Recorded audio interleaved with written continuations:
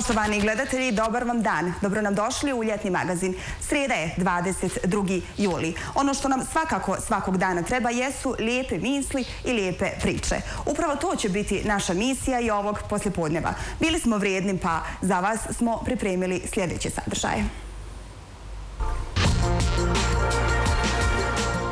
Na priče koje smo ove srijede pripremili za vas sigurno nećete ostati ravnodušni. Dašak ljepote Hercegovine ukrasit će vaše i naše poslijepodne. Naš mobilni studio ponovo je u Trebinju. Savina Grđić i ovaj put ima zanimljive goste i lijepe priče. I Lijepa Gračanica bit će dio naših priča. Iz tamošnje Đulbašte pričamo priče o našoj tradiciji, bosanskoj pjesmi Sevdalinke. Udobno se smjestite jer sa vama smo do 18 sati i 45 minuta.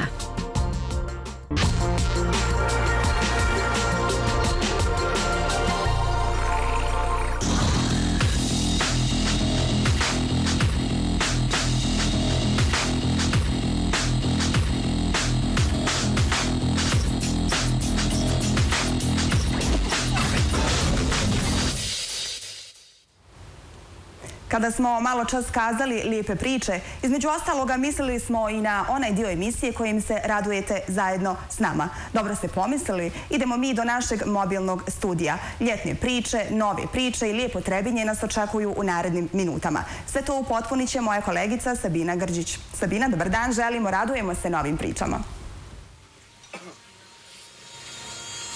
Baš mi je drago, Anela.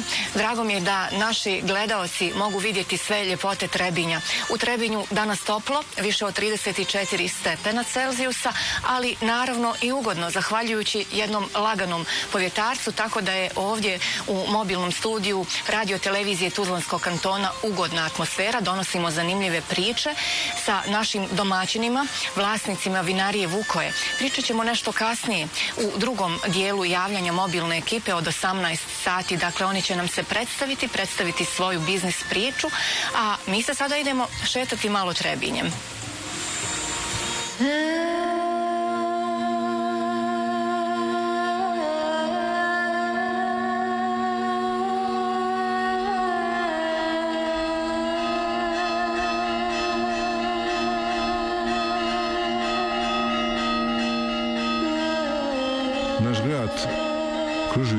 Kuda je nekada hodao Sveti Vasilije Ostroški.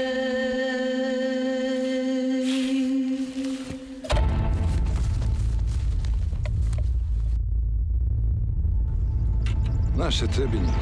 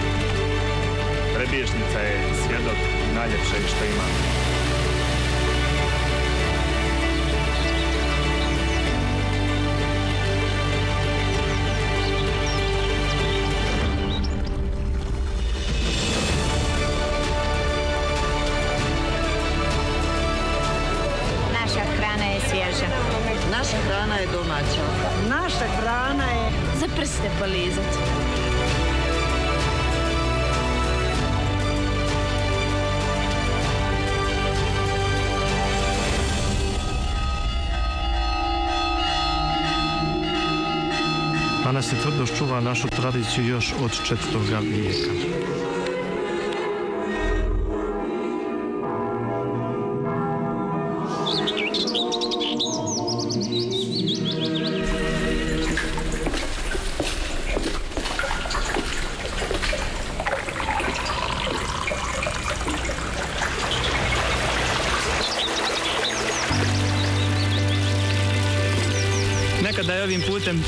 Voz Ćiro.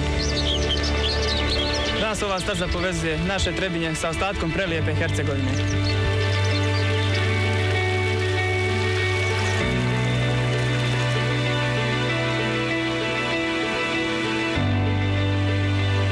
Ljudi prepoznaju Trebinje po vinu, a naše vino po Trebinju. To je neraskidiva veza tradicije i kvalitetnog grožđa koji naši vinogradi pružaju.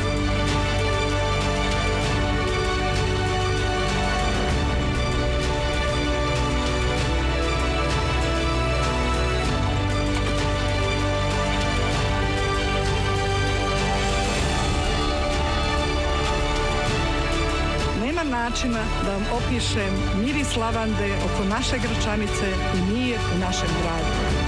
Jedini način je da vas pozovem u naše i vaše.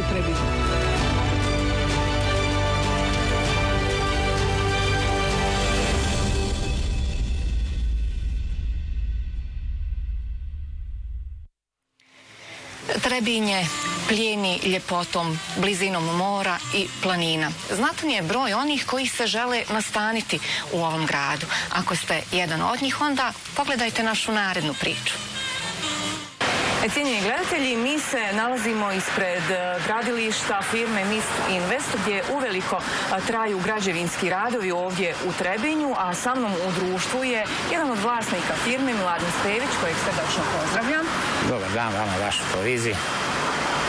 Odmah na početku pitanje. Prije 13 godina započela je vaša priča o građevinarstvu. Kako zapravo? Pa da, jednostavno, ovaj, počeli smo kao mala zanatska radnja koja se bavila završnim radim, radom o građevinarstvu. Tokom vremena radili smo mnoge objekte, ovaj, postala je potreba za otvaranje druge. Krenuli smo investicije prije šest godina ovaj, investicije e, objekata za tržište. Završili smo u Trebinju već ovaj, dva objekta, ovo nam je treći objekt koji trenutno radimo. Tako. Dakle, jedna prepoznatljiva građevinska firma, respektabilna. Po čemu se izdvajate od drugih? Pa izdvajamo se po kvalitetu i po tačnosti ovaj, izvedenih rokova i sve. Radili ste dva stambena objekta? Da, da, dva stambeno poslovna objekta, znači u naselju Luč, mali objekat sa 15 stambenih jedinica i dva poslovna prostora. Od prošle godine smo završili objekat ovaj, u ulici Garibaldije u Trebinju ovaj, sa 53 stana, dva poslovna prostora i podzemnim garažama. Trenutno radimo na, na objektu na lokalitetu Stari Novateks sa 100 stambenih jedinica i poslovnim prostornim garažnim mjestima ispod. Što ćete ponuditi potencijalnim kupcima? Pa trenutno znači na ovom objektu radimo ovaj znači imamo za svakog kupca, znači od malih garsonjera 25 kvadrata, mali jednosobni stanova do 36-7 kvadrata, jednosobni stanova od 45 do 50 kvadrata, manji dvosobni stanova po 50 koji kvadrat i dvosobni stanova po 66-7 kvadrata do 70. S tim, ako postoji mogućnost za većim stanovima, postoji mogućnost znači da mi spojimo više stambenih jedinica za neke veće. Potencijalni kupci gdje se mogu informisati? Potencijalni kupci mogu se informisati ovaj, na, na našoj web stranici, ima sve ovaj, i na broju telefona 065 989 879. Evo, korona je nekako sve omela u radu, koliko je vas i koliki je zapravo interes? Očito da postoji interes za stambenim pa, znate kako, Trebinje, Trebinje je jedno fino mjesto za živjeti, ovaj, fina klima, fini ljudi, tu je blizina sam Jadranskog mora i sve ovaj, interesovanje za, za stanove veliko. Znači, samo jednu stvar da vam kažem, prije ove korone, mjesec dana da nije ova korona, da je zakasla, mi ne bi imali stana. Znači, ovdje se tako radilo u, u samom startu, znači na iskopima to se već sve prodavalo. Korona kad je došla, sve je stalo odjedno, međutim sad se to već ponovo povraća, već idu kupci, dolaze, prodaja ide.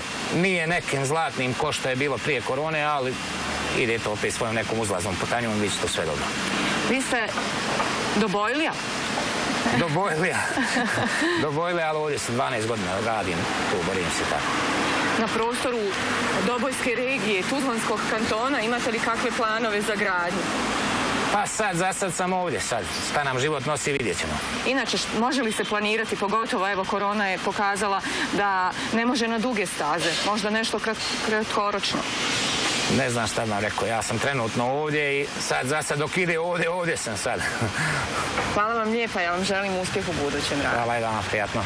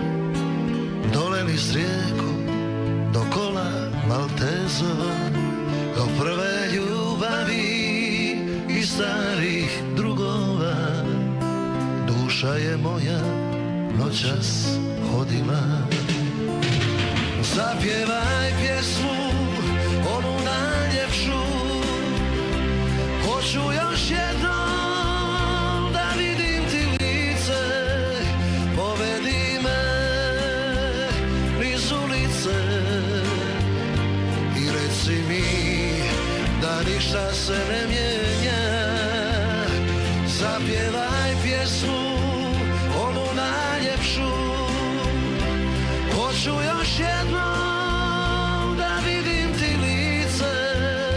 Povedi me niz ulice Niz ulice moga trebinja. Evo tu sam na starom korzovu Kazake sata ono štuku Ponovo stigoh u svoju luku. Miriše platan, ljeto, vrela noć. U starom gradu je koji ranije Stiže me sjeta, stiže me tuga. Isti lokali, a lica su druga. Ne bira vrijeme, s kim će dalje poć Zapjevaj pjesmu, onu najljepšu. Hoću još jednom da vidim ti lice. Povedi me niz ulice. I reci mi da ništa se ne mijenja. Hodamo. Ako vas put nanese u Trebinje, naša topla preporuka je da obavezno posjetite Hercegovačku kuću. Tamo ćete na jednom mjestu naći više od 260 autohtonih hercegovačkih proizvoda.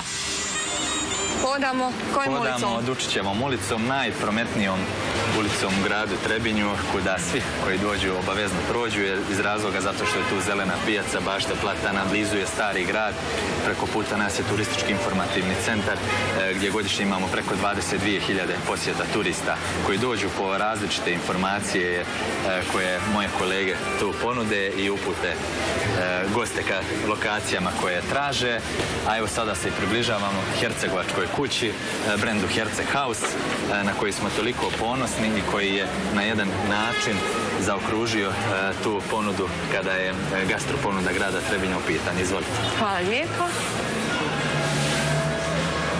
E, sada se nalazimo u Hercegovačkoj kući koja je svojevrsni muzej, kao što smo rekli, ukusa i mirisa i gdje turisti svrate po neki od, od ukusnih suvenira koji ponose u svoje gradove iz kojih dolaze. Ovdje možete, kao što vidite, naći rakije, džemove, možete naći sokove, evo ga, pomijali smo te džemove od smokava, razna vina, e, melemi, čajevi, proizvodi ovamo, evo dole su na melemi, možete da pogledate. Predivno miriše, to moram da kažem. Hercegovački med koji je jako kvalitetan i prepoznat kao takav e, u širem regionu. Ljekovit, evo, protiv korone, imunomed. Protiv korone, imunomed, tako je. Evo vidite ovdje razne, imamo dosta proizvođača e, meda, imamo preko 20 vinarija u gradu, tih 20 vinarija već 10 imamo degustacionih sala za prijem turista i u zim- zimskom i u ljetnom periodu, to dovoljno govori koliko je u stvari ta ponuda široka i koliko je traženo. To, evo vidite ovdje što smo pominjali, to su e, sirevi u ulju, ima kozji, ima kravlji, su divne osnove da zapravo planirate bez obzira na specifične okolnosti u kojima se nalazimo. Hvala vam lijepa što ste nas ugostili. Hvala lijepa. Ja vam želim uspjeh u budućem radu i da ti planovi idu onako kako su isplanirani svojim tokom. Hvala vama na pozivu da budem dio ove prelijepe emisije koju ćete ponijeti iz Trebinja. E, osjećajte se ugodno u našem gradu, e, probajte i posjetite sve ono o čemu smo e, pričali. Evo iskoristit ću još jednu priliku da pozovem sve vaše gledalce da posjete Trebinje, da osjete Mediteran i da uživaju ovdje na jugu. Hvala još jedan. Hvala vam. Razloga da posjetite Trebinje, cijenjeni gledatelji, kao što ste mogli vidjeti, je mnogo. Još neke od njih predstavit ćemo vam u drugom dijelu javljanja mobilne ekipe u 18 sati, a naša preporuka je da i dalje ostanete uz ljetni magazin.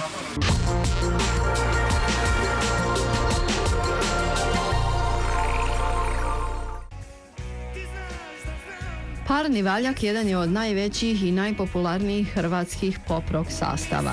Osnovan je 1975. godine razilaženjem grupe 220, a na sceni je do danas s malom pauzom 1988. godine te četvorogodišnjom pauzom od 2005. do 2009.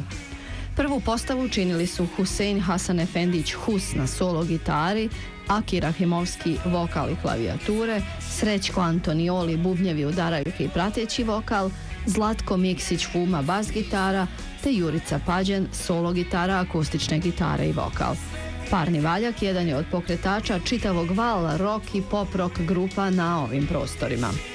Grupu osnivaju Hus i Jurica Pađen zajedno s Vladimirom Mihaljekom Mihom koji je donedavno bio menadžer Bijelog dugmeta pa je grupa zamišljena kao zagrebačka verzija te tada popularne bosansko-hercegovačke grupe. Sastavu se pridružuju Zlatko Miksić Fuma i Aki Rahimovski te bubnjar Srećko Antonioli. Bend je uskoro počeo izdavati singlove, no zbog loših tekstova i navodnih krađa melodija bivaju napadani od strane kritike. 1976. godine izdaju svoj prvi studijski album Dođite na show, gdje konačno pokazuju nekakvu kvalitetu, ali to nije dovoljno. S tog albuma se izvajaju tek pjesme Predstav je kraj i Prevela me mala žednog preko vode.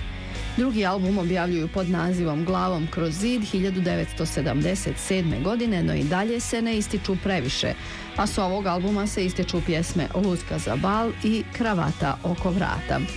1978. godine Hus i Aki odlaze u vojsku tako da grupa prestaje s radom, a tokom te pauze napušta ih Jurica Pađen te osniva sastav Aerodrom. Po povratku iz vojske grupa nastavlja s radom i to s Branimirom Johnnyjem Štulićem, no ta saradnja traje tek dvije sedmice nakon čega ovaj odlazi i osniva sastav Azra. No Johnnyjev dolazak u band utiče na Husa, tako da sljedeći albumi imaju drugačiji ukus. Valjak i Štulić ostaju u dobrim odnosima, naime Hus Azri producira prvi singl pjesama Balkan i A šta da radim. Sve do 1988. godine Parni Valjak djeluje i izdaje albume u različitim sastavima. Oproštajni su koncert izveli na 30. godišnjicu benda 2005. godine kada najavljuju prestanak zajedničkog djelovanja. Mnogo je kvalitetnih domaćih muzičara prošlo kroz grupu Parni Valjak. Nakon oproštaja bend se posvećuje različitim interesima.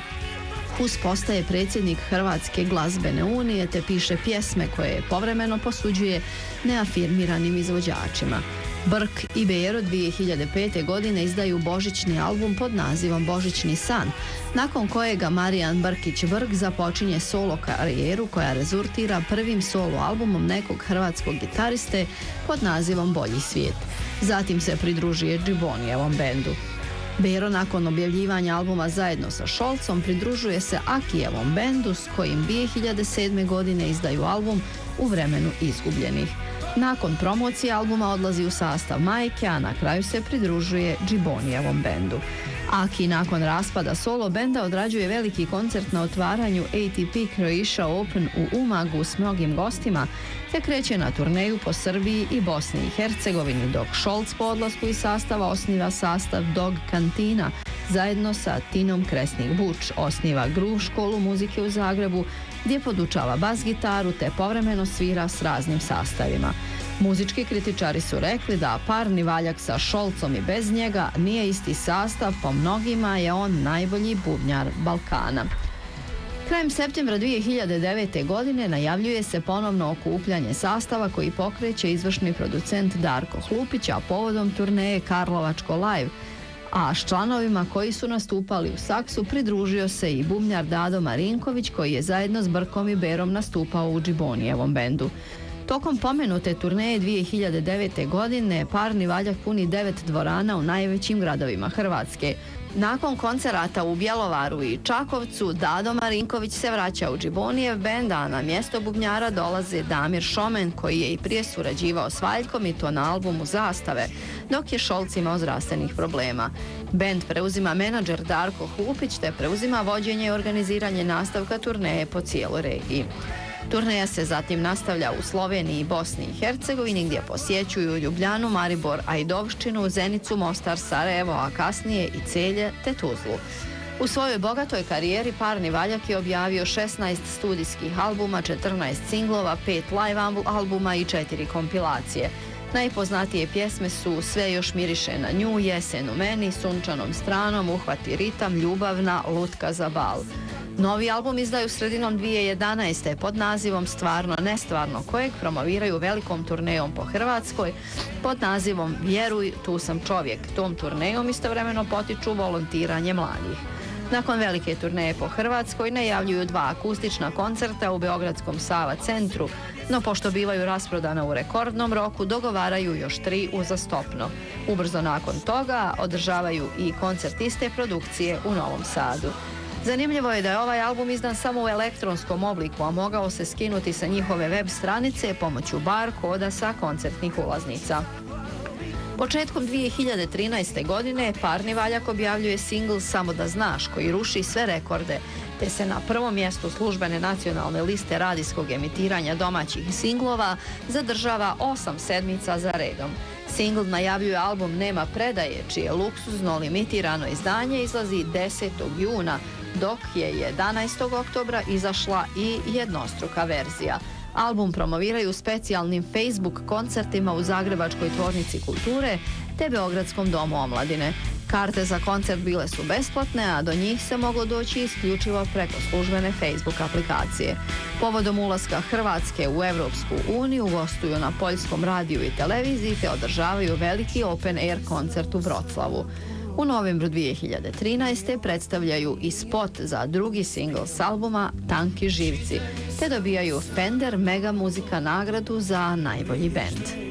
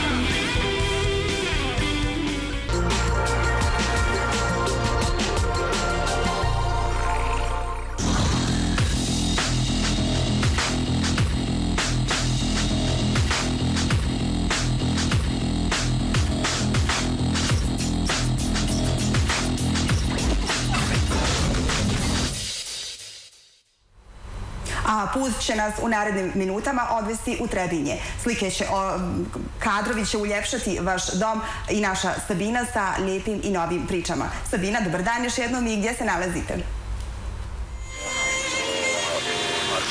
Srdečan pozdrav još jedan put. Mobilna ekipa radio televizije Tuzlanskog kantona nalazi se u vinariji Vukoje. Dakle, oni su naši domaćini danas. Jedna ugodna atmosfera. Ja se nadam da će takva biti i priča, a da iza uspješnog muškarca, uspješne kompanije, uspješne vinarije stoje i žene. Potvrda moja sugovornica, gospođa Jagoda Vukoje. Ja vas srdačno pozdravljam i zahvaljujem za gostoprimstvo koje ste nam ukazali. Hvala i srdačan pozdrav svim vašim gledalcima u našoj državi, a i šire koji prate vašu televiziju. Vi pričate jednu impresivnu priču o vinu, a da li je zapravo i kako izgleda, da, da li je dobrom vinu potrebna uopće neka priča, da li je potrebna prezentacija, marketing? Pa, e, vino je živa stvar i svaka godina nosi neku svoju berbu, pečat enologa, u ovom slučaju mog supruga koji to kreira svake godine i sigurno da e, svaka godina priča svoju priču, a mi volimo uvijek e, kao vinarija da svoju zemlju predstavljamo i u našoj zemlji, a i šire ambasadori smo tog vina. I evo 40 godina pričamo tu priču o hercegovačkim vinima, o kvaliteti naših vina e, i ovaj, jako uspješno iza nas stoji više od 200 zlatnih medalja na svjetskim takmičenjima, tako da smo u tome ovaj, na neki način potvrdili svoje uspjehe, ali to e, ide i dalje i sada kroz vinsku galeriju Vukoje, kroz turizam, kroz posjete naših gostiju, vinskih hodočasnika svake godine gdje je to od ovih godina bilo oko 50.000 ljudi.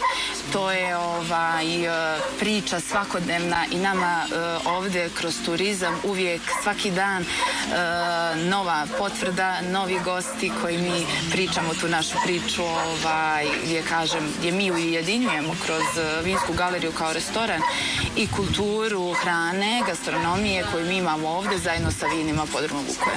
Vi ste menadžerica za turizam vinarije. Jest, Kako ste se prihvatili tog posla? Jesu li vas morali nagovarati? Ne, nisam. nisam.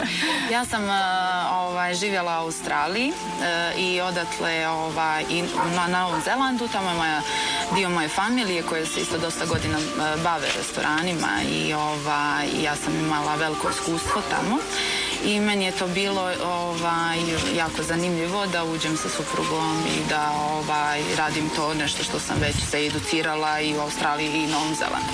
Tako da sam neko svoje iskustvo iz tih zemalja prenijela ovo. I sasvim prirodno. Prirodno. To je ljubav koja je ovaj, se svakom čovjeku sigurno negdje rodi, ali ovaj, nama je nekako ovdje svojstveno Hercegovicima da smo mi dobri domaćini i da ovaj, volimo da ugošćavamo svoje To smo iskusili. Potvrđujemo to. Svakako šaljemo jednu pozitivnu priču o gostoprimstvu, o lijepoj kulturi, tradiciji, a biti na sajmovima, dakle prezentirati priču o vinu, nije često ni lagan posao. Pa znate šta, vino uh, je uh, dosta ljubavi, dosta, tu je ovaj, dosta truda i rada uloženo kroz cijele godine koliko ga stvaramo i da je nama to jako zadovoljstvo da pričamo o sortama, da ljude koji su vinoljubci da malo ih educiramo i isto tako to su sve i ovaj, naši gosti kojih imamo iz cijele naše zemlje, iz regije i sa tri kontinenta sa kojima radimo vino, mi imamo veliki broj turista, tako da je ovaj, to je nama svojstveno da mi nosimo neku pozitivnu energiju iz Hercegovine u druge gradove, da prenesemo i pečat kroz vino i pečat naše zemlje i uh, zajedno sa vino, tako da je to nije, ovaj, to je nama zadovoljstvo. Zadovoljstvo, dakle spoji se rad jest, i jest, zadovoljstvo. To je ljubav jedna velika, jer vino priča uvijek lijepe, lijepe priče. Ostaje li vremena za neka druženja, za neke druge stvari? Pa naravno, mi se sa vinom upoznajemo dosta ljudi, ja kažem 50.000 gostiju prođe kroz uh, naš podrum i mi od, uh, sigurno imamo dosta broj raznih uh, poznanstava koje kasnije kreću i u prijateljstva i ovaj, kad se ti naši gosti vraćaju zadovoljni ponovo u Hercegovinu Trebinje, to je nama ovaj, jedno veliko zadovoljstvo i to je nas isto ispunjava. Nije to samo posao, to je velika ljubav. Koje vino, pardon, obično preporučujete A, Što vi pijete? Je, pa, e, ono što mi volimo preporučiti e, jeste, e, pogotovo gostima koji dolaze van prostora Bosne i Hercegovine, jeste naša autohtone sorte, žilavka i vranac. Znači, to je nešto što, što je autentično naša ovde iz Hercegovine, pogotovo žilavka. I ovoga, a vranac je već ta balkanska sorta. To je nešto što time nekako ovaj, pokazujemo našu razliku odnosno druge zemlje i s time ovaj, svakako želimo upoznati goste koji dolaze iz e, regije, regije ili drugih e, svjetskih e, zemalja. I ovaj, uvijek je to naša kraljica žilavka i vranac kralj našega vina. To je naše autohtone sorte. Ono što uvijek preporučujemo gostima, mada na- vinarija ima 20 različitih vrsta piketa, to će vam pričati moj suprug.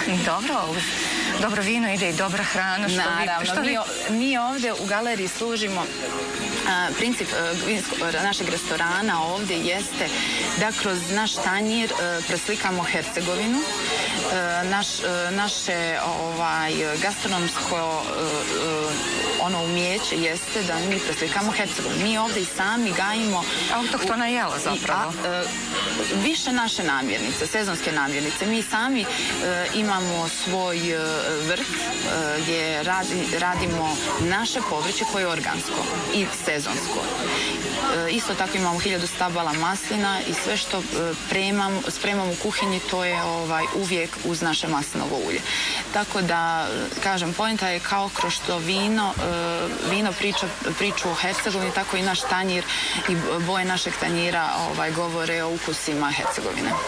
A da vi dobro radite svoj posao, svakako svjedoči i podatak 50.000 posjeta godišnje. Jest. Hedonista i svih onih koji, sigurna sam, odu zadovoljni i ponovo vam se vraćaju. Jeste, jeste. Mi imamo tu raznih, e, imamo tu individualaca, imamo tu, tu grupa ljudi e, koji do- putuju svijetom, upoznavaju vinske regije.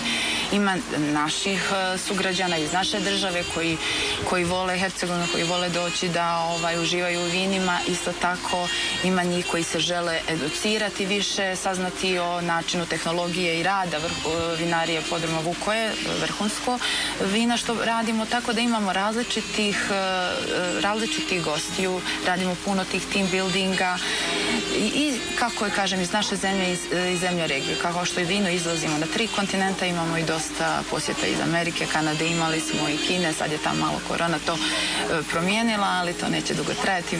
Mi, očekujemo naše ovaj, e, građane da dođu da uživaju u mirisima ukusima naše Hercegovine u Vinskoj galeriji. Mi evo uživamo, hvala vam lijepa za gostoprimstvo.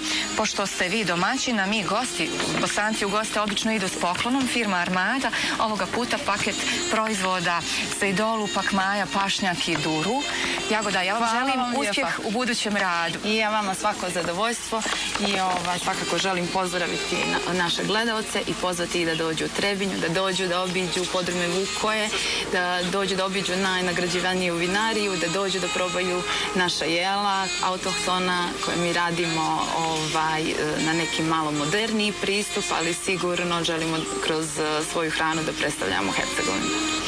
I evo, uz dobro vino, dobru hranu ide i dobra pjesma.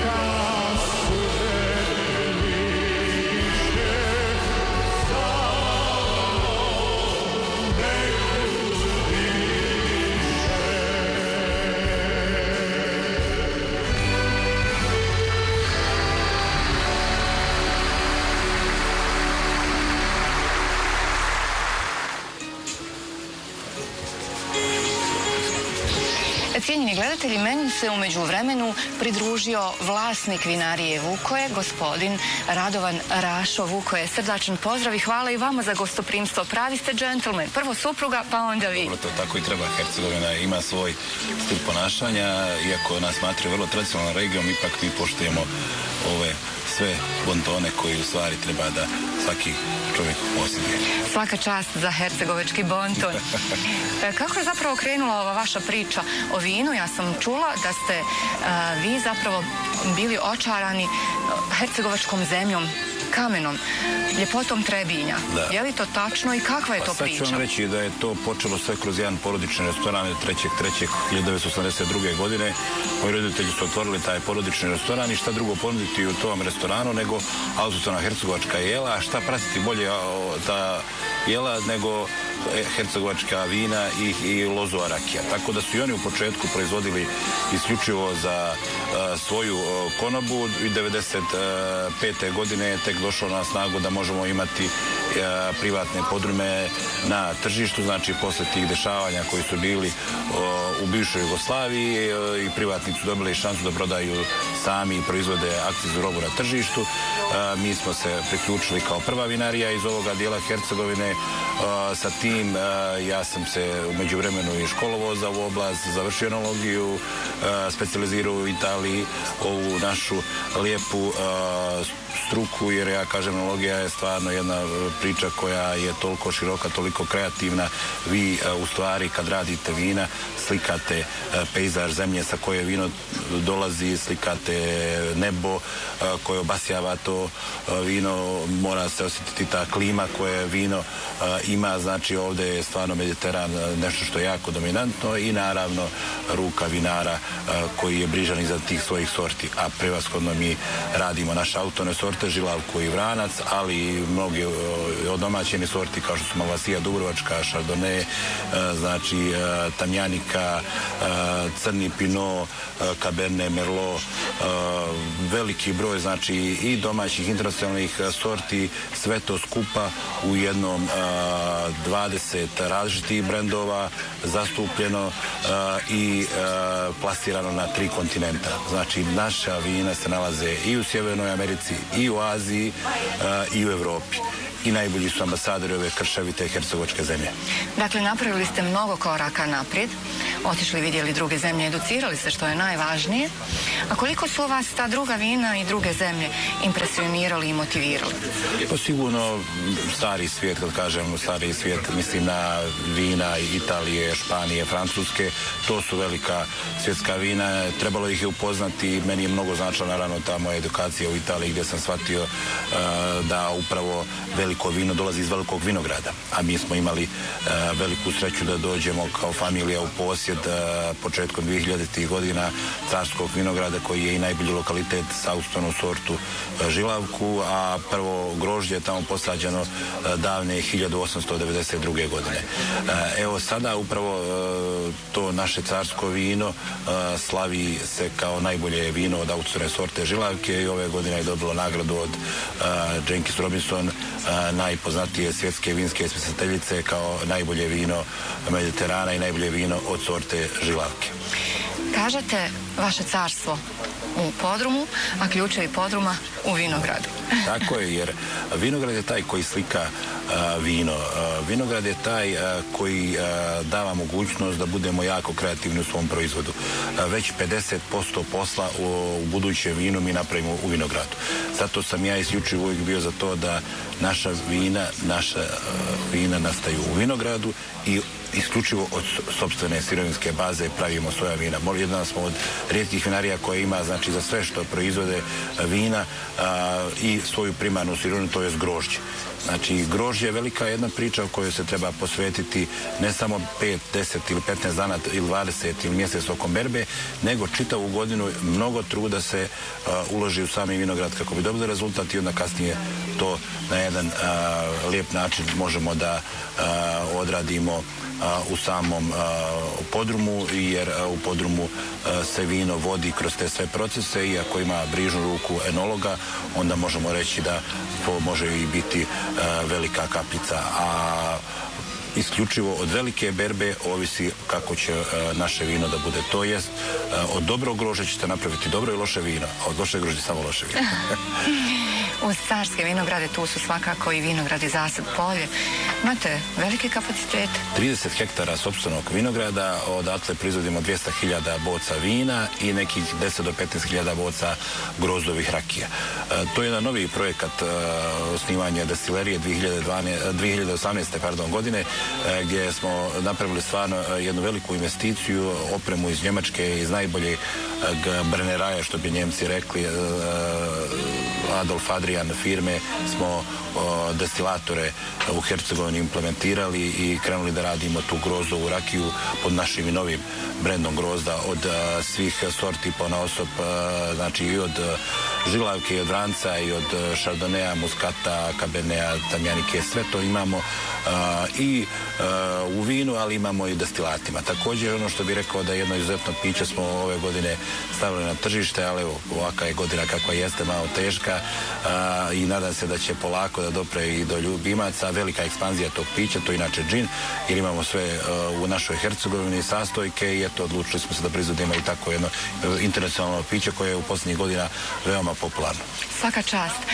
Žilavka je ipak vaša ljubav, a vranac budi strah i poštovanje. Zbog čega? Pa znate kako, ako kažemo da je Žilavka personifikacija Hercegovica, ja sam zato i napravio jednu divnu manifestaciju baš u ovde u Vinskoj galeriji. Tradicionalno svake godine se održava salon Žilavke gdje dođu svi proizvođači Žilavke i slave tu sortu u augustu i želja nam je da pred narodnu berbu uvijek napravimo tu neku dobru energiju i da predstavimo ta naša vina velikom auditorijumu koji u tom trenutku bude na tom salonu ove godine, naravno u specifično, vidjet ćemo kako ćemo to organizovati, da kroz neki master klas, ali ćemo poslati poruku kakva je bila berba 2019. i da najavimo tu berbu 2020. Ali ono što je sigurno interesantno reći da je Žilavka jedina sorta u Hercegovini koja ima od krajnjeg istoka, to jest od Laste do krajnjeg zapada, to jest Ljuškog. Tako da prava priča u stvari vinarstva i vinogradarstva je naša Žilavka. 2000 godina ovde sa nama vino kameno, vino gdje osjetite jaku mineralnost, znači osjetite te hercegovačke trave, osjetite u stvari hercegovca zarobljenog u boci. Kod Vranca kažemo da je to jedna divna sorta koja je najveća balkanska definitivno jer imate Vranca i u Crnoj Gori, i u Makedoniji, i u Srbiji, i u Hrvatskoj i kod nas u Hercegovini, ali evo upravo kroz podinu Vuko je zadnjih nekih 7-8 berbi pobrali smo veliki broj nagrada na svjetskim sajmovima i upravo s Francom smo nekako dobili taj epitet u svijetu velike vinarije. Ja kažem da je naša Baljera Rosa crvena zastava upravo taj hercegovački vranac.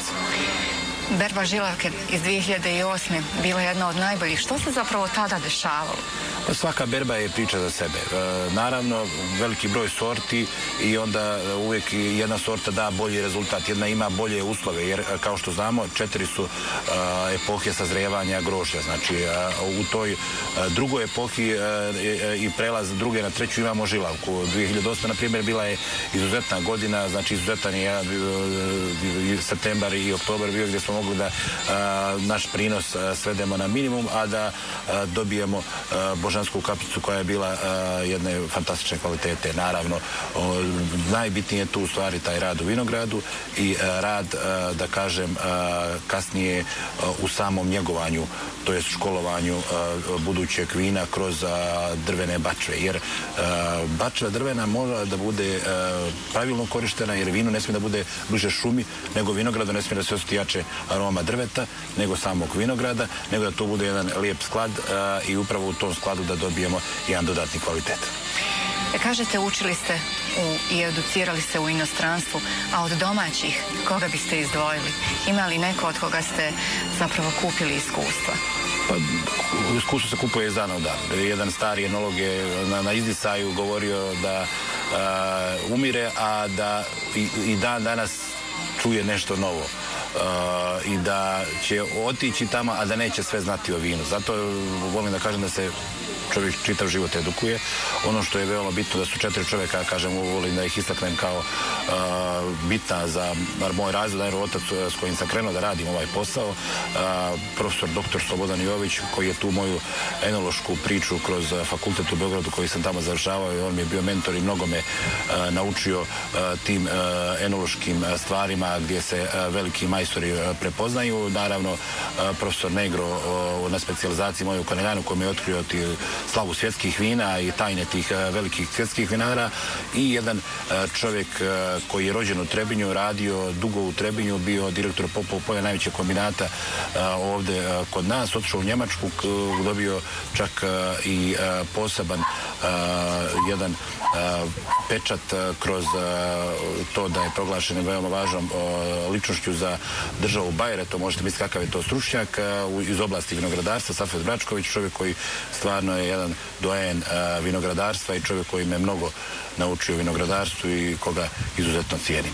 Tako da su to neki ljudi koje volim da istaknem, a mnogo ljudi srećem, imam hiljade degustacija godišnje, veliki broj sajmova i evo zadnjih par godina sam dobio i tih nekih dosta laskavih priznanja kao najbolji vinar te države, te regije, pa onda i jugoistočne Europe, ali sve to u stvari je samo jedna mala stvar koja čovjeka možda motiviše, ali najveća motivacija kad ljudi dođu, probaju vino i kažu imate lijepu stvar u čaši. A ja to najviše cijenim i zato i volim da ti moji proizvodi budu tako cijenjeni kroz te konzumente i kroz njihovu satisfakciju.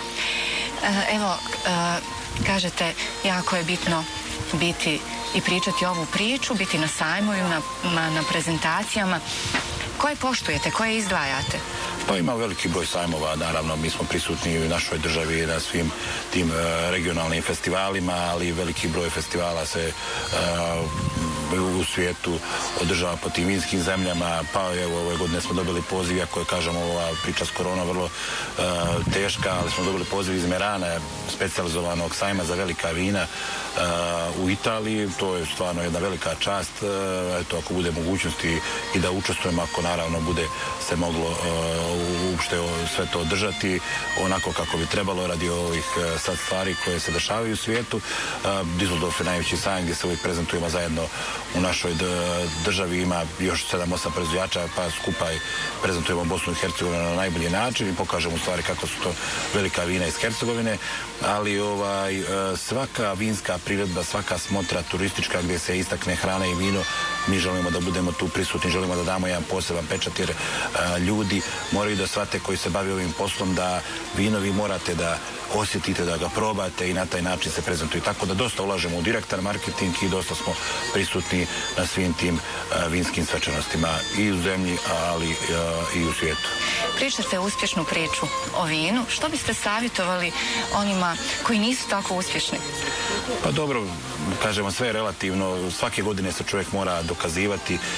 Potreban je veliki rad, veliko odricanje, a po meni najbitnije je veliki rad u vinogradu, jer upravo iz vinograda mi možemo da iznedrimo neki kvalitet koji je poseban i koji nam može biti znak raspoznavanja, a po meni to je i nama jedna veliki vjetar u leđa kako bi se u tom moru svjetskih vina prepoznali kao jedna vinarija koja radi na vrhunski način. Tako da po meni savjet malim vinarima je da prvenstveno rade u svom vinogradu pa polako dokupuju tu tehnologiju da dođu do jednog nivoa koji je respektabilan, ali ono što svakog će vinara odvojiti od drugog je ta njegova pozicija vinograda i da kažem kvaliteta tog groža koje će on dobiti i na kraju valorizovati ga kroz jedno dobro vino. Korona je mnoge omela u poslu, ali kako ste se vi organizovali, mora se planirati, organizovati kako u ovom trenutku, u ovim specifičnim okolnostima radite? Pa sigurno da je teško. Mnogo slabija turistička sezona u Trebinju, a Trebinje je grad koji ima stvarno veliku turističku perspektivu, zahvaljujući Dubrovniku, Boki Kotorskoj, ljudima iz naše zemlje koji prepoznaju ljepotu Mediterana u Trebinju, tako da je sigurno da je to veoma teško ove godine odraditi na jedan pravi način, ali evo mi se trudimo, imamo dobre rezultate u Vinogradu do sada, pripremili smo se za dobru sezonu i dalje prisutni smo na tržištima Amerike i Kine. To mi je posebno drago da smo svoja vina tamo vozili i u aprilu i u maju kad je u stvari e, ta najveća tenzija oko korone bila naravno i dan danas je tenzija i treba se e, ponašati u skladu sa tim e, nekim mjerama koje garantuju jednu sigurnost i u poslovanju, ali i u odnosu ljudi koji dolaze u kontakt sa našim poslanicima, tako da po meni je to veoma bitno, ali moramo dalje raditi, moramo dalje razmišljati pozitivno i nadamo se da će i ova pošast da, da prestane i da nekako najavimo neki kraja. Ja se nadam da ćemo mi ostati na tim pozicijama koji jesmo i zato se stvarno trudimo i mi i čitav, da kažem, naš tim koji sudjeluje u proizvodnji tih vrhunskih vina. Gospodine Vukoje, hvala vam lijepa za ovaj zanimljivi razgovor. Hvala vam za gostoprimstvo. U znak zahvalnosti jedan poklon kompanije Armada, tu je paket proizvoda sa idolu, pak Maja, Pašnjak i Duru. E, I naravno ja vam želim uspjeh u svim nadolazećim godinama. Ja vam želim isto uspjeh, hvala vam što ste došli u našu Hercegovinu, u Trebinje i Vinariju. Uzdravlje. Živjeli. Cijenjeni gledatelji, Toliko od mobilne ekipe radio televizije Tuzlanskog kantona, jedan topao i svakako ugodan pozdrav iz Trebinja.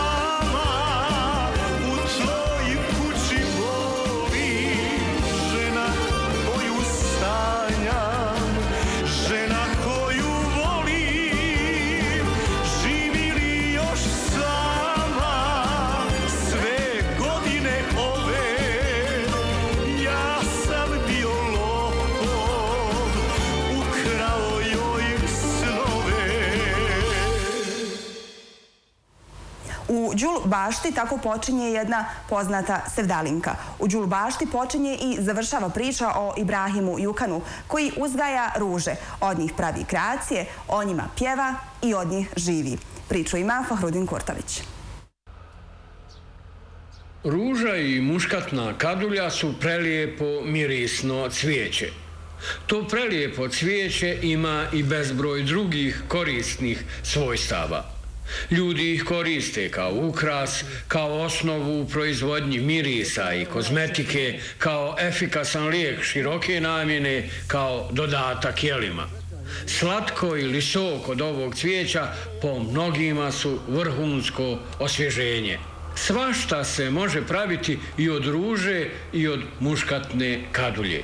Priča o kraljici ruži, muškatnoj, kadulji i drugom cvijeću, ekohrani, kozmetici godinama živi u porodici Jukan. Bolje je možda kazati da ta porodica živi od te priče.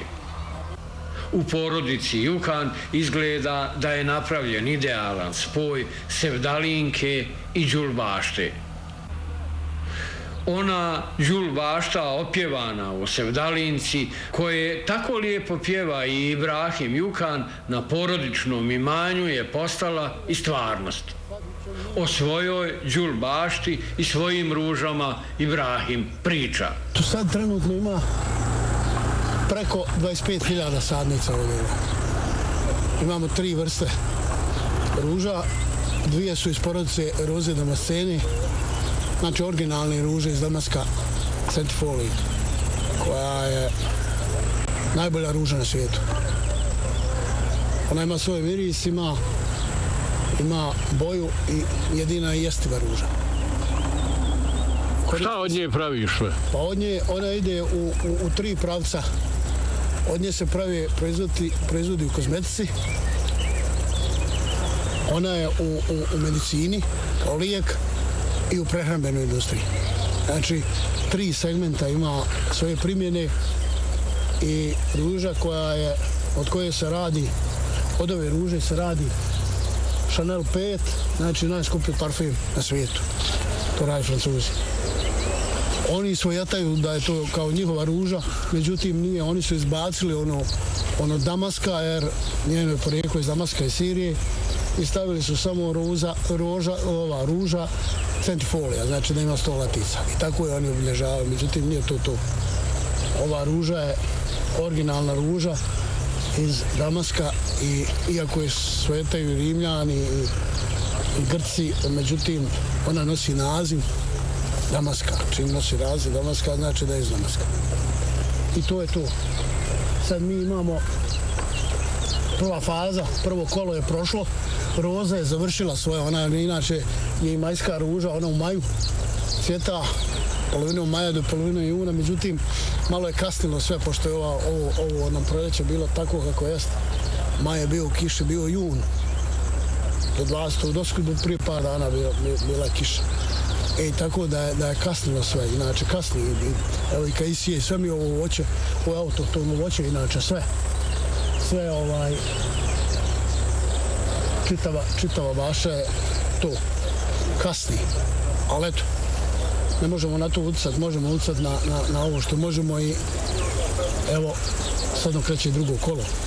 I ove ruže, ove sultanije, koja ima izuzetan miris i ona je ruža koja nama daje poseban štih proizvodima. Mi imamo sad desetak proizvoda, to ću vam posle pokazati i ovaj i ovi proizvodi su našli svoje mjesto na na tržištu istoka, znači Emirati. Između ostalog, mi smo u Dubaju već tri, tri godine. Sad je ova korona prekinula to sve, međutim, neće valjda vječno trajati. To je ono što bi mogu u kratkim crtama da kažem.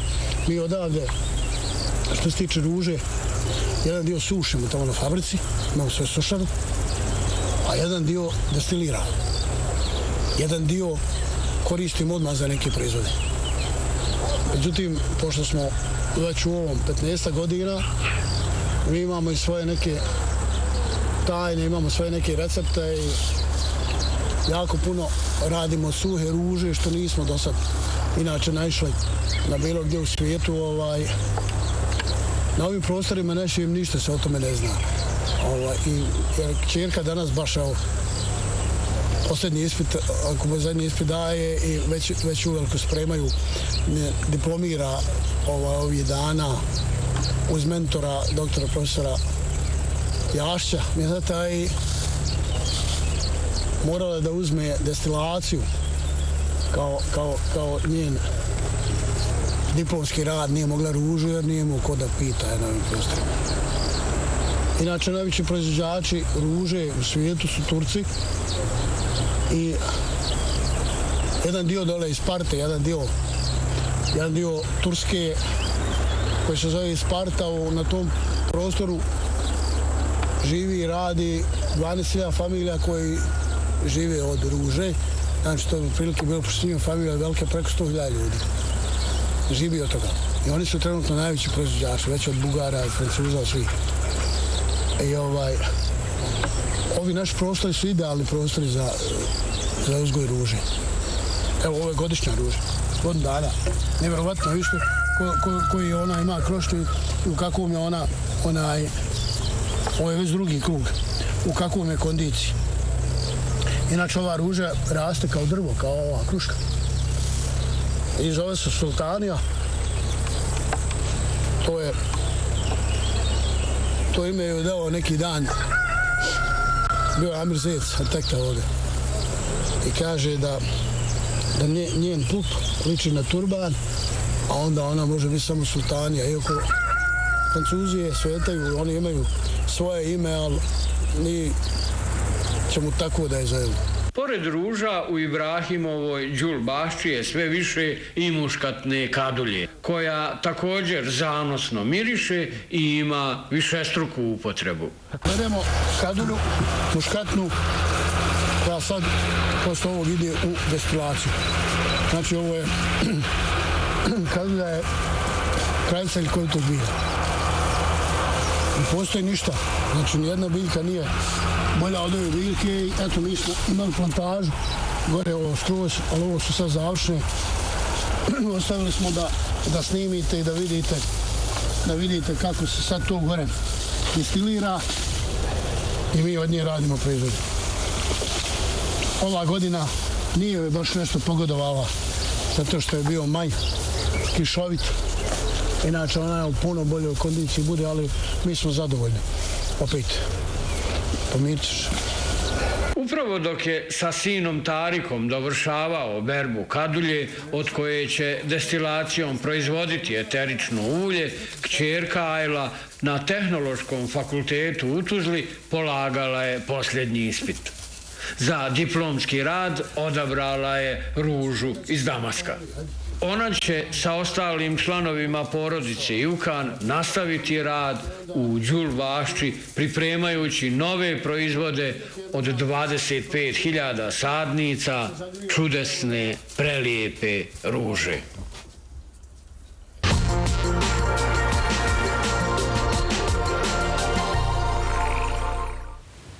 Poštovani gledatelji, stigli smo do kraja našeg druženja za danas. Hvala što ste bili sa nama. Ljetni magazin je ponovo sutra u vašim domovima od 17 sati. Do tada budite nam zdravi i nasmijani. Doviđenja.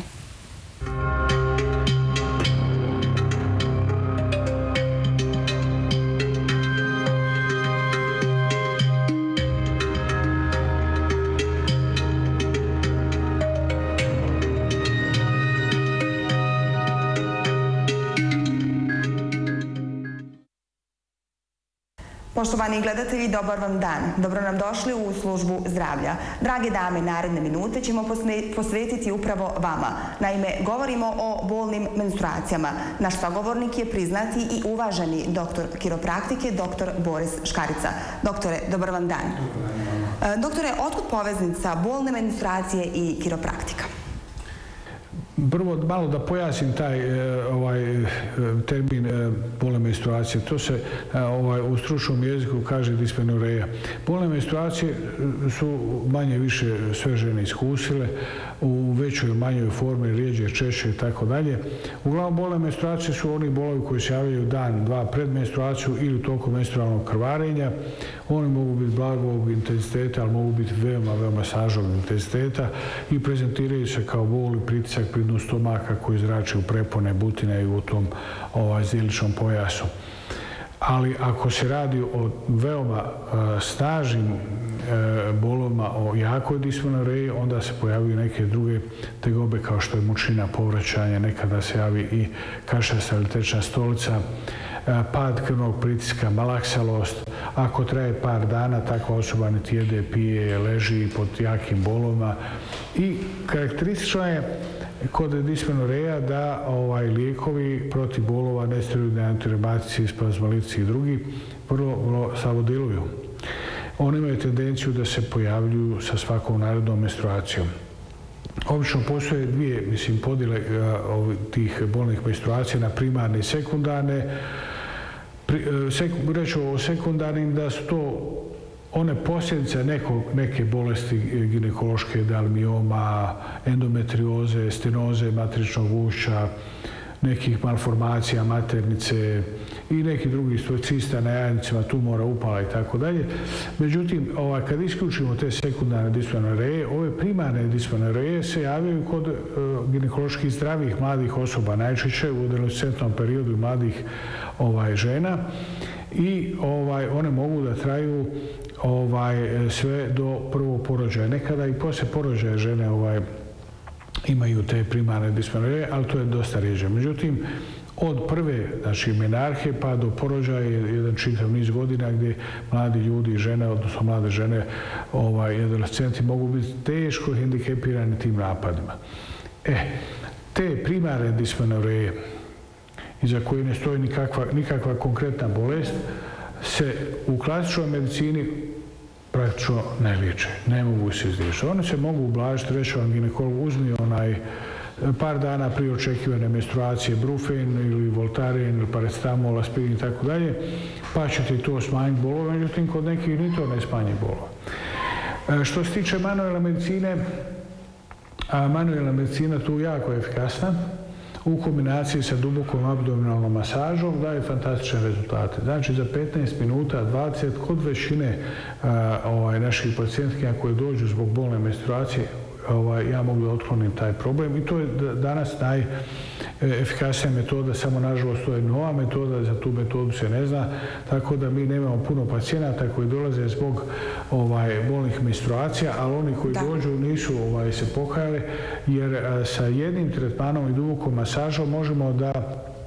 potpuno ovaj, a, spriječimo ponovno pojavljivanje bolnih menstruacija ili za jedan duži period da ih nema uopšte ili da budu blage i podnošive, što je sasvim... Doktore, kada već govorimo evo, o, o pacijenticama, bilo je i onih koji su mjesečno evo, imali sve te strašne tegobe, mjesečno su išle i na infuzije.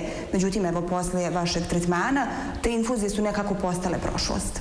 Pa da vam kažem, ovaj, ginekolo, moje kolege ginekolozi koji znaju da ja radim te tretmane, oni mi pošljaju pacijentke, međutim, ginekolozi generalno ne znaju zato, ovo su nove metode. A djevojke još manje, evo? A djevojke još manje.